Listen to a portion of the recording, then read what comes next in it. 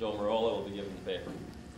Joe got his PhD at MIT, uh, spent some time at Exxon doing research related to catalysis, and has been at VPI for seven years now, uh, continuing catalytic related research. The title of the paper is Aqueous Organometallic Chemistry of Iridium, Catalysis of Olefin Hydrogenation, Oligomerization, and Other Reactions. Thanks, Dwayne. I'd like to, um, Barbara isn't here right now, but I'd like to thank her for extending her invitation out beyond the tri-state area to uh, get over into Virginia um, to have this opportunity to come here because uh, it's been a long time since my Exxon days where I've got to hear so much in terms of heterogeneous catalysis. Uh, I've always enjoyed that and got a lot of good ideas from uh, hearing people talk about that area. And uh, at least today, I don't want to get into the discussion of homogeneous versus heterogeneous. I think we all recognize that they each have their advantages, disadvantages, and places in the reaction. Um, but I, what I do want to say, at least philosophically here, is that studying homogeneous systems really has one great advantage, is that the number of structural sensitive tools that you can bring to bear, such as NMR spectroscopy and even single crystal X-ray crystallography, if you're lucky enough to isolate some materials, really gives you much more information and does give you the ability to uh, learn a lot about possible mechanisms in your system. So we're, we're, we're fortunate that way. But as you'll see, we're also somewhat unfortunate from the point of view that maybe that can lead you down the wrong pathway. Before I begin, since uh, as someone else pointed out, it's sometimes hard to uh, remember to do this at the end, I'd like to begin by acknowledging in the early parts of this work um, Trang Lee, who is currently doing a postdoc uh, at the University of Hawaii, um, began a lot of our foray into aqueous chemistry. And Kelly Matthews continued it. Um, this fellow, who is in the audience, and you saw his poster yesterday, he didn't really deal with this work, but he was a really uh, great person to uh, have as a student. In terms of the current folks, the work I'm going to tell you about today, in addition to Trang Lee and Kelly Matthews, is the work of uh, Marion Franks and Rob Pafford, and uh, Paul Chirik, you've already heard a lot of his contributions.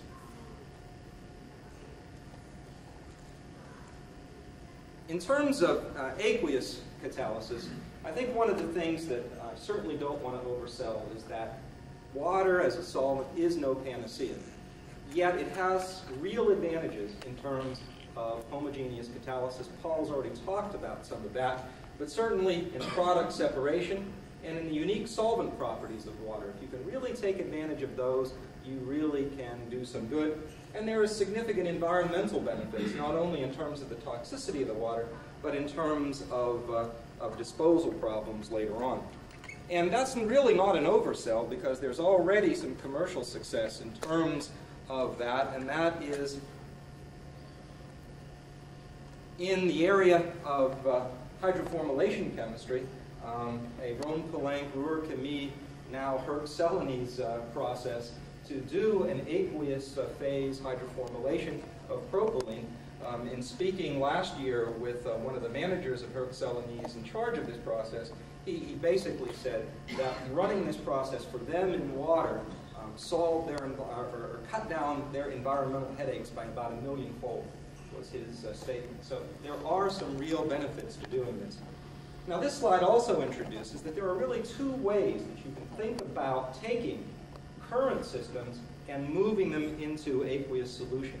As Paul said, that the area of organometallic chemistry is usually not thought of as one that is easily amenable to working in an aqueous solution. And the first of the ways is to take a a ligand such as triphenylphosphine, which we all know works very nicely in homogeneous systems, and sulfonate it, thus turning it into a water-soluble ligand, and then using this to put onto the metal, that water solubility then brings your whole system in, and then you can look at some chemistry along those ways. And as I said, this is being um, commercially uh, used in terms of hydroformylation. Uh, with my uh, former colleague, uh, Mark Davis, before he moved to that smaller technical school on the West Coast, uh, we looked at some uh, uh, uh supported aqueous phase work using that type of a system. But the thing that intrigues me more are those systems that the water solubility does not derive from simply making soluble a formerly insoluble ligand, but rather those systems where you have some specific water to metal interactions that do something unique and good.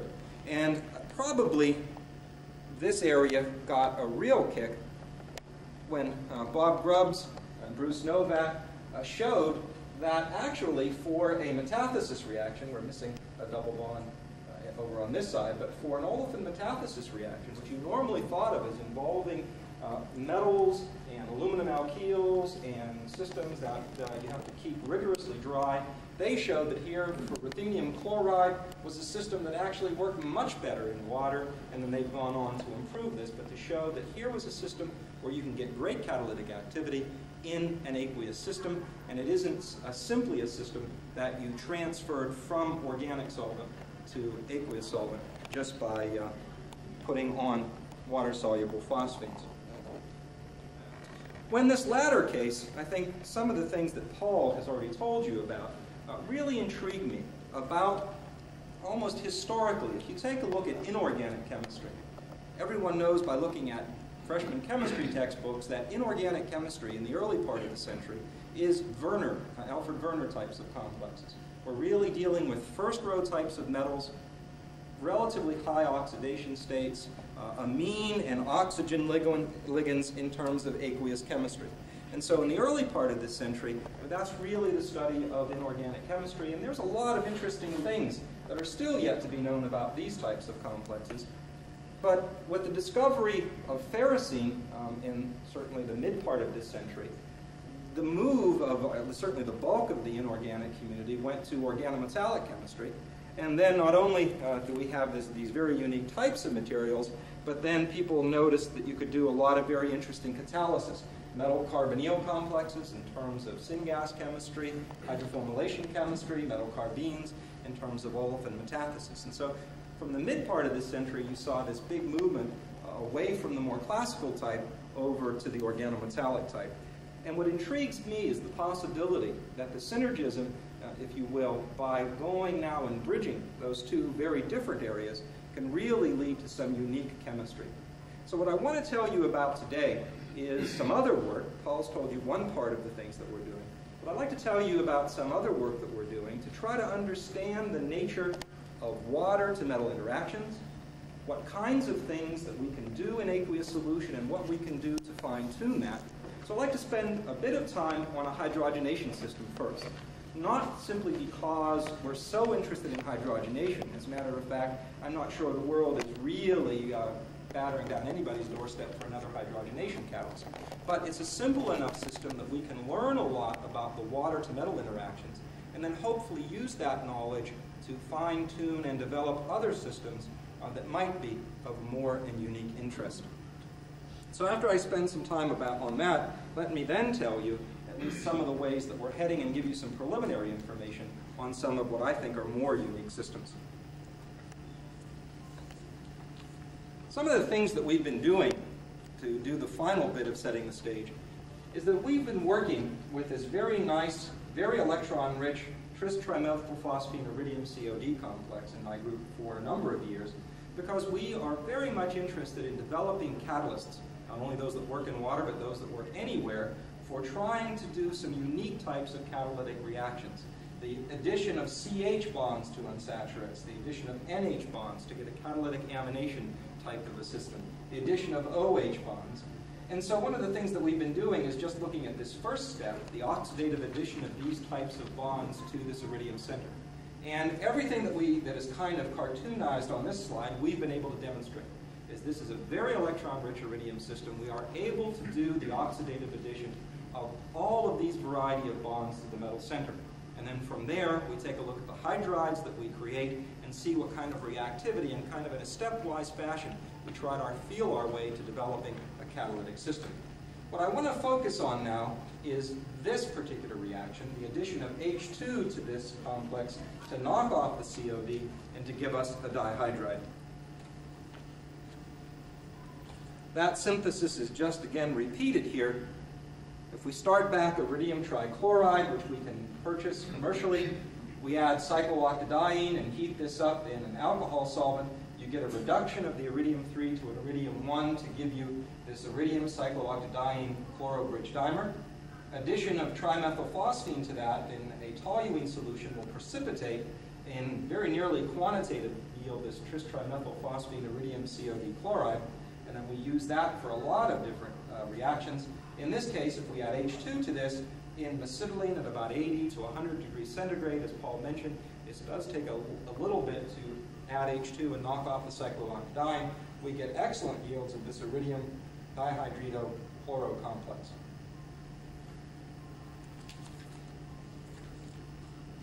Let me just show you a little bit of the spectroscopic information because we're going to look at this in order to try to understand its, its solution chemistry.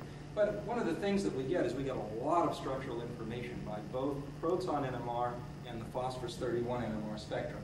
In terms of the phosphorus 31 NMR, it's pretty clear cut. We have three phosphines, two in uh, the same environment, one in a different environment.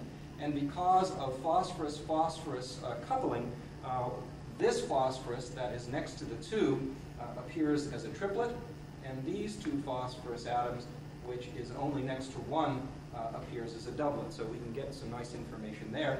And then in terms of the proton NMR spectrum, what we see are some very unique resonances that are indicative of metal hydrides here at 20 parts per million above TMS, delta of minus 20, uh, we see a, a, relatively complex pattern, but if you blow it up, what you see is you can actually pick out the fact that there is coupling to three phosphoruses to um, this hydride. This hydride is actually the one trans to the chlorine, and we even have a little bit of coupling from this hydrogen to that one. The other resonance at about minus nine and a half parts per million is due to the hydrogen atom that's trans to a phosphorus, and it actually gets a very big coupling when it's trans to give us this coupling, another coupling to two other phosphines, and then another little bit of coupling to the other hydrogen. So we can get a lot of information from um, the NMR spectrum about the structure that we have here. So there's no doubt of what we have and in what the geometry is. Well, in terms of looking at reactions that we could use in a catalytic sequence, we began by looking at unsaturates such as acetylenes and olefins um, for these systems.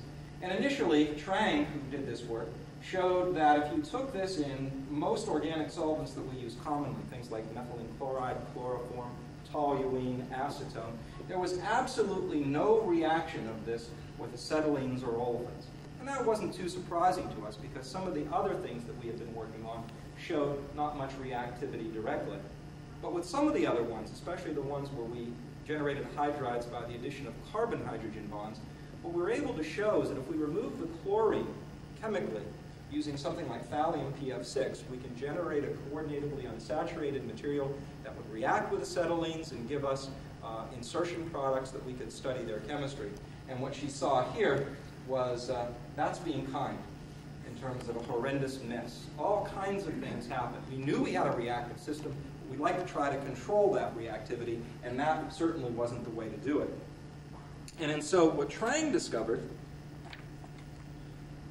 is that, to our surprise in some respects, is that that dihydrido iridium trisphosphine chloride was water soluble. Right? And in effect, it's one of these things that ju just being an observant student, in washing out glassware, she noticed that it went into water. And and you know, wasn't something that was necessarily predicted. And she said, well, since it goes into water, she thought maybe she'd just look at its reactivity in water. And sure enough, what she found is that uh, putting this in water, adding an, an acetylene, um, actually very uh, nicely, in, in, a matter of, oh, maybe 30 to 40 minutes, uh, generated all of this going over to a vinyl iridium hydride complex. And so the acetylene would add, it would insert, and we could actually isolate um, these particular materials. If R is small or a hydrophilic group, it remains soluble in water, but if R is large and somewhat hydrophobic, this actually precipitates out and we can uh, isolate and characterize those materials. One example, not necessarily because there's anything unique about it, but it did grow the nicest crystals, is that an insertion product of uh, a um, hexane uh, in which there were two uh, right next to each other. Uh, here's the X-ray crystal structure. Of, here's the vinyl by the insertion into the one of the uh, triple bonds. Here are the three trimethylphosphines, the chlorine, and uh, hydrogens don't show up very well in an X-ray uh, crystal structure next to the very electron-rich iridium, but we know it's there from spectroscopic techniques. And so we can isolate these, and we isolated quite a number of them and studied their chemistry. And what we noted is that at room temperature we could isolate these, but on warming them up, they would reductively eliminate to form the olefin. And so that suggested that we had the room here for a catalytic cycle of hydrogenation chemistry based on this material. And as a matter of fact, Paul told you about that this morning. And that uh, we uh, believe, well, this tries to show a catalytic cycle. We'll come back to this a little bit later. But as a matter of fact, um, this will reduce alkynes to alkenes, and then it will take the alkenes and take them all the way down to alkanes. And the interesting thing is it is active only in water, and I really mean that, only in water. Not in DMSO, not in acetonitrile, not in ethanol or methanol. It is active only in water. And so we were very much intrigued by A, what is so special about water, and B, what are the species in an aqueous solution that are responsible for this, so that we could understand this chemistry. And so that's what I want to talk about now. We'll come back to this catalytic cycle, I want to talk about what we've learned about water and the interactions between water and this system. Now remember those NMR spectra that I showed you, both phosphorus and proton of that dihydrido complex. Those spectra were taken in deuteromethylene chloride. If instead we obtain those spectra in D2O,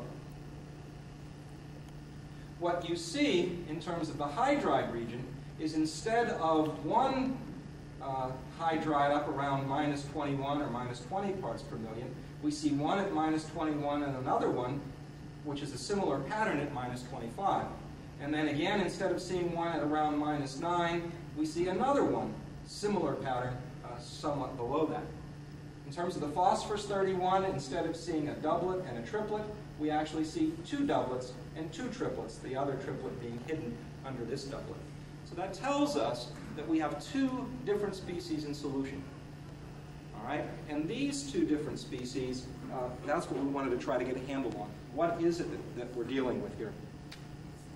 In terms of the chemistry, though, it's complicated by the fact that hydrogen deuterium exchange occurs quite rapidly with these dihydrido species and D2O.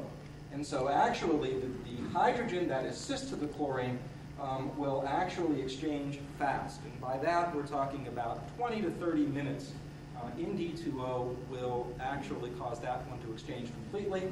The other deuterium takes a little longer, uh, maybe 8 to 10 hours. That one is exchanged completely. So we couldn't use proton NMR in a quantitative fashion. But we could still use uh, the phosphorus 31 NMR, and this just gives us further evidence for the fact that we're getting this deuterium exchange because in D2O, um, it's just fortuitous that this trans deuterium has about the same coupling to a phosphorus as the cis phosphines do. And so instead of seeing a uh, triplet for this phosphorus, you actually see a much more complicated pattern due to coupling to two spin 1 half phosphorus and plus spin 1 deuterium. But, so you can really tell that there's a deuterium in that transposition. But since this is due to species B, this resonance is due to what I call A plus B, and this is due to A, we can at least get a handle on measurements that deal with A and B by looking at this resonance for B and this one for A. And the information uh, that we had suggested that number one, that if we added sodium chloride to this solution, is that we could cause what is labeled B to completely disappear. So the addition of sodium chloride causes B to disappear, but A to remain. If we add just more material in the solution, just increase the total concentration of iridium complex, again, the relative ratio of A to B, uh, A increases and B decreases. And if we increase temperature, the opposite occurs. That B increases in intensity with increasing temperature and A decreases. So all of our information suggested that these two species were in equilibrium with each other. One was related to the other by loss or, or gain of chloride. And um, so the spe spectroscopy tells us is that we have to have three phosphines in a meridional arrangement. We have to have two hydrides. So for an octahedral iridium complex, that doesn't leave us a whole lot of room for showing a difference. It has to be in that six coordination site. And so Trang then said, well, let's see if we can isolate something from solution. And so quite often, since our thought was is that we were dealing with some ionic complexes, you can, by changing counter ions, isolate species from solution. And by adding hexafluorophosphate as an anion, she was able to isolate, and we could crystallographically characterize this very unique um, cation. The anion isn't shown, but it is a chloro-bridged uh, iridium complex. And there are some two unique things about this complex. One is, is that monochloro-bridged species like this are very unusual. It's very um, uh, unusual to see things like this. For example, the COD dimer has two chloride bridges, and so this is a, a unique material. There are two hydrides still here, by the way, um, on each of these iridium. And so uh, having isolated this in actually fairly good yield from the solution, um, that led us to believe that this was one of the species uh, in solution. It was cationic, that made some sense. And so we also proposed that the other species that was in solution was just the one in which this chlorine had dissociated and to give us an aquo complex the iridium. So we'd have two cations in solution. They would actually be related to each other by gain or loss of chloride, and, and all of it seemed to make sense. Until we said, well, if that's true, we should be able to study that equilibrium as a function of concentration. And so what we're talking about here is the idea that this aquo species would be in equilibrium with this chloro bridge dimer that we isolated. We did all of the measurements at different concentrations of iridium, did all the measurements of the intensity of those peaks. I don't show it here, but you can come up with a very uh, simple uh, mass expression for this equilibrium. And the important feature of it is, is since two of these go to one of these, there would be a squared dependence on the equilibrium on that particular species. And when we do the calculated uh, equilibrium constants based on this data, you can see that they vary all over the map. And so this data shows that this is not consistent with an equilibrium in which we have two species going over um, to one. Well, to make a long story short here, what we're ultimately able to show is that within the experimental error, the only inescapable conclusion that we uh, uh, had to go to is that this neutral species is the other one in solution in equilibrium with this cationic aqua complex. In terms of doing the mass action expression and calculating the equilibrium constants within experimental error uh, over this whole range, um, this looks very good. It's, it certainly is consistent with a mononuclear to mononuclear complex. And again, there's only that sixth site to deal with. And so we have to deal with the fact that it's this neutral chloro that is in solution in equilibrium with this cationic one. Well, we were intrigued by that in terms of what is going on to make that neutral complex water soluble. And then we did a little bit more work in terms of the thermodynamic data for that particular equilibrium. So again, drawing equilibrium like this, where we have the chloride on this side and the aquo complex on that side, we looked at it over a uh, temperature range to calculate the equilibrium constants and uh, looked at the Van Hoff plots and saw some fairly good linear uh, relationship here from which we could look at the delta G, the delta H, and the delta S terms for that equilibrium. And let's focus in on the delta H term. We already know, actually, if we call um, this species is actually what I showed on that previous graph as B, this is actually what is, is shown as A, it's not a favorable equilibrium. There's actually much more A in solution at any time than B. And so you can see that in that the delta H term is a positive term. Intuitively, that's a satisfying result because, again, in terms of this idea of hard and soft acid base, or however you want to look at it, you would predict that the bond between iridium and oxygen would be weaker than the bond between iridium and chlorine. And so in that sense, um, the fact that enthalpically um, this would be an unfavorable reaction to break an iridium-chlorine bond and replace it with an iridium-oxygen bond, you would suggest that this delta H term is predominantly the enthalpy change in that particular bond. So that is unfavorable. Why does this reaction go at all? In, there is a relatively large entropic term here. It's large and positive. positive, and so the fact that it goes at all tells us that it is driven uh, pretty much by entropy. Uh, very simple-mindedly, one would suggest that we're going from one particle to two. It's obviously much more complicated than that. We've got a lot of water ordering that, that goes on on both sides of this equation. But we think that because this is very highly hydrogen bonded to the water, as is this, not only through hydrogen bonds to the chlorine, but hydrogen bonds to the hydrogen, we think that there's actually a lot of ordering here and a lot of ordering there. That's a net zero in actual fact, and that, that simple-minded view of going from two particles to one is actually pretty close to the truth in terms of why this is entropically favored. Well, if we're, if we're correct, if that equilibrium does relate to that iridium to chlorine versus iridium to oxygen bond, we should be able to probe that. The first way we should probe that is that if we have a species on the iridium that is softer, would make a stronger iridium bond, then actually we should see less of the aquo species and more of the iridium halide.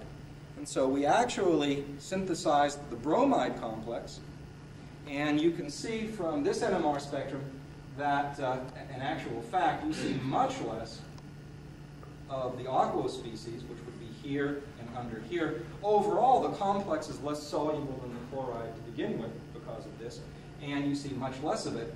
And the iodide complex, where you get a really good bond between the soft iridium and the so-called soft iodide, is totally insoluble in water. So you go from that end you don't get water solubility. So if we're correct that that aqua species plays an important role in uh, getting us into solution, we need to go the other way. We need to be able to make a complex that already has an iridium-oxygen bond, and I'll leave out the gory details of how we synthesized it, but we actually made a complex that had an oxygen donor, a negative oxygen donor, in this case benzoate, in that sixth site rather than chloride. And what we saw is that this is much more reactive. That when you place this into D2O, now instead of 30 to 40 minutes and 8 to 10 hours, both of these exchange within minutes. And so right away we get some indication that these are much more reactive. Again, adding an acetylene to this instead of again waiting 20 to 30 minutes, the reaction is very rapid, almost instantaneous, that an acetylene will insert into the uh, iridium H bond. In this case, it was the T-butyl acetylene, and here you can see the T-butyl vinyl. Here's the benzoate group. So the insertion takes place quite rapidly. And then finally, in terms of solution chemistry,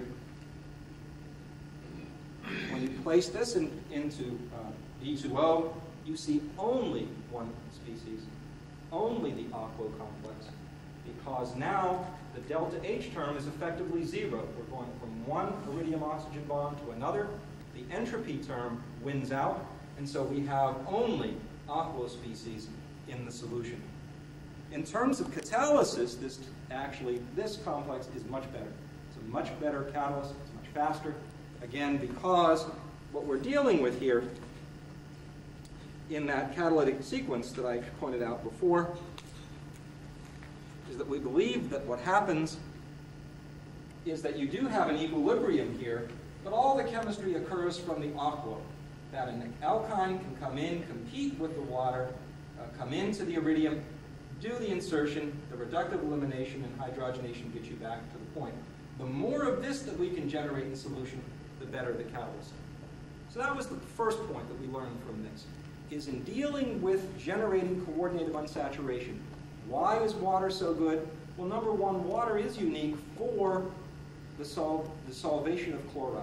Okay, methanol isn't as good at solvating chloride. Okay, so water is very unique, and so it can pull the chloride off to generate coordinated unsaturation.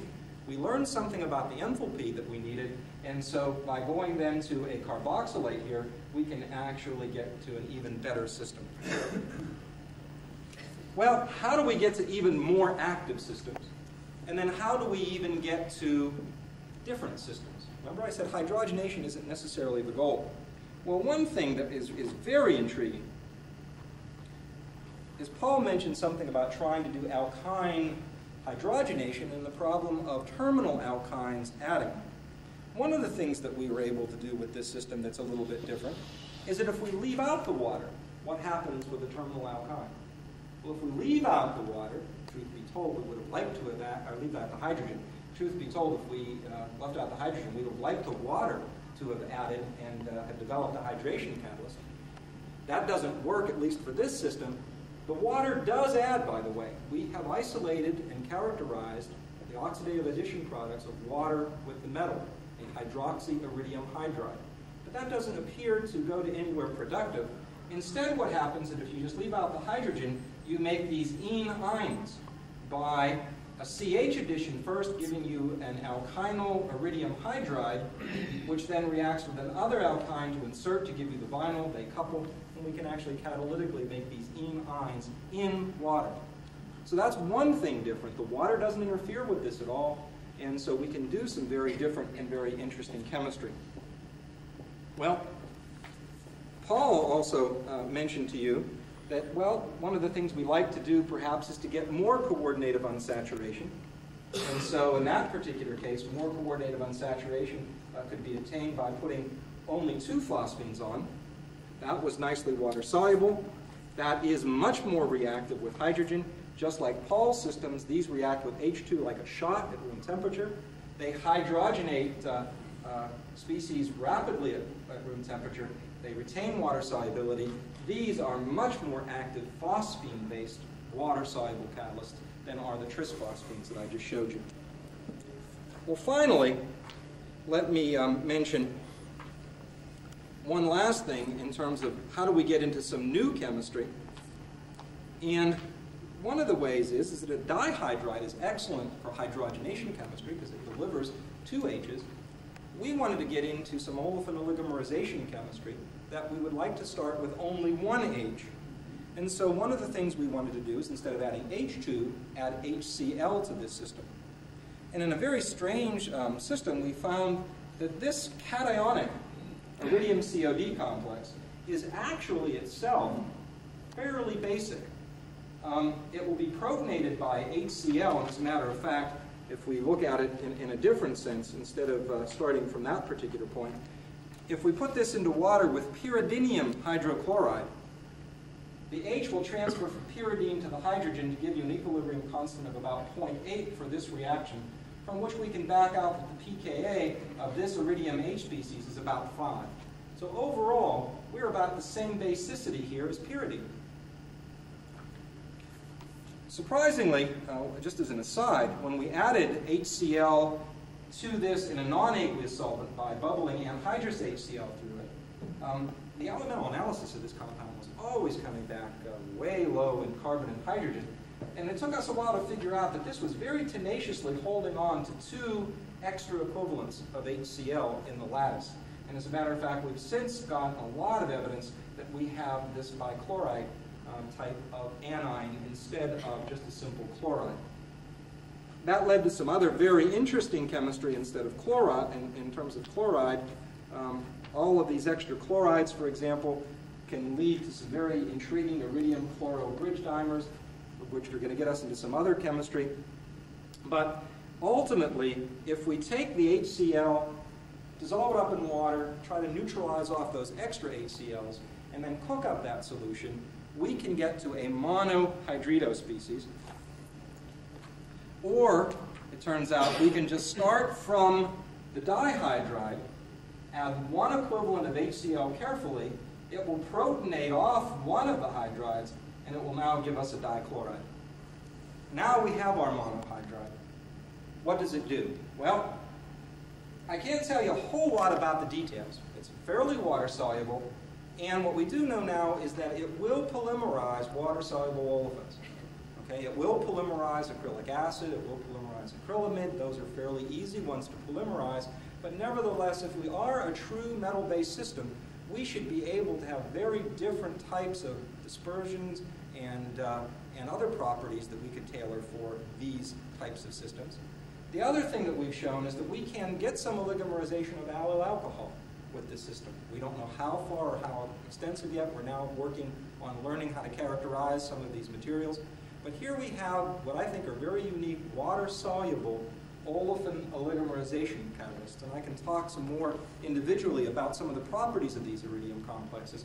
What I think is unique about them is even though they're water-soluble, they will, react, they will interact with water but aren't killed by water, actually cationic iridium-3 complexes actually have significant Lewis acidity, almost rivaling that of an early metal. And we, can, we have some examples of where that, that may be. And so that's where we're heading now. We're also showing that actually if we do some chemistry instead of with chlorides, with triflates here, we get better chemistry in water. That's to be expected because it's an oxygen donor and we can separate those even better. And then finally, we've actually made some monohydrides where these are amino acids or an amino acid chelating, uh, which could perhaps bring in some asymmetry to the system. So this last part, the more unique part, the more intriguing part, we don't have a lot of detail yet, but I hope to, over the next uh, year or so, really understand some of this chemistry a lot more. Well, let me just finish up by saying that this turned out to be a very surprisingly water-soluble system, which we think we understand a little bit because of this equilibrium. That we, if we just take this system and change X, we can affect the chemistry, and then we're leading on to bisphosphine complexes and monohydrido complexes, and as Paul told you, amine ligands uh, can play an important role. And if you remember anything about classical Werner types of complexes, because of the acidity of NH bonds on amine ligands attached to metals, we can actually get into some unique chemistry of metal to nitrogen multiple bonding, which can lead us into some new catalysts. And so I hope maybe, um, maybe at the next meeting, I'll be able to tell you some more about that. In addition to my students, I'd like to thank the National Science Foundation, the Petroleum Research Fund, an early grant from the Exxon Education Foundation, and Jeffress Trust for the financial support. And again, thank you, Barbara, for letting us know about this uh, symposium, and thank you for your attention.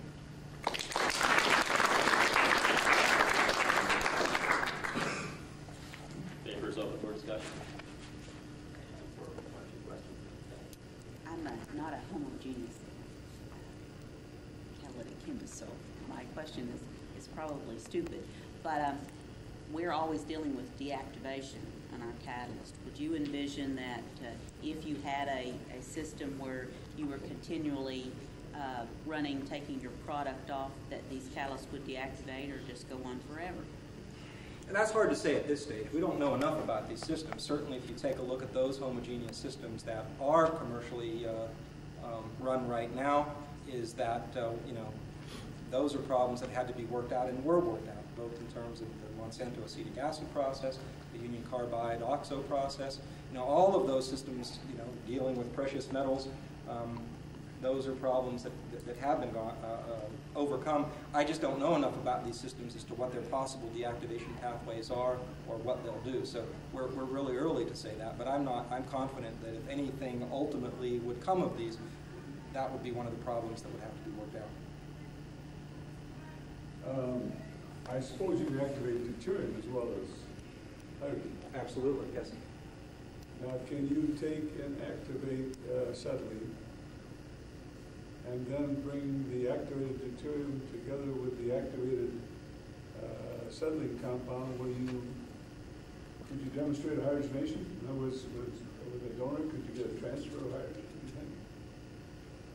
Do you think? Um, yes, I mean, uh, if I understand you, if we take D2, There's two separate solutions.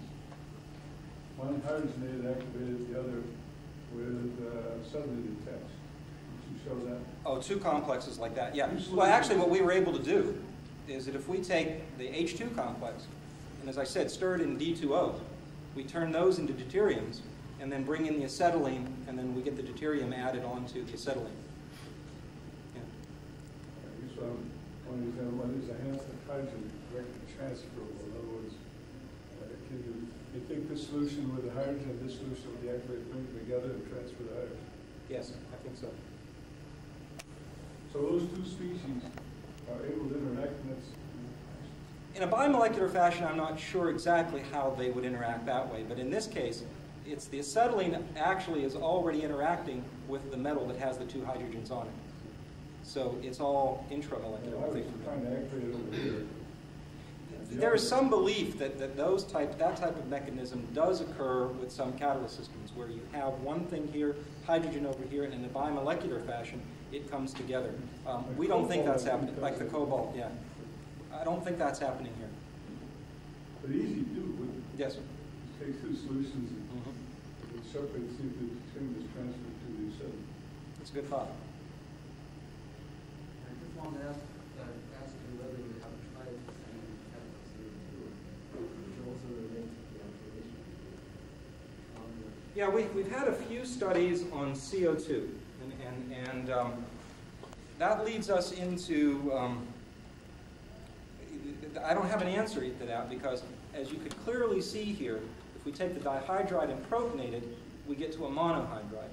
Actually, if we then, so anything we do to increase the acidity of the system gets us into a different system. Anything we do to actually decrease the acidity of the system actually deprotonates the metal, gets us into something else. So that's another point of control which I didn't talk about today because we don't know what it does yet.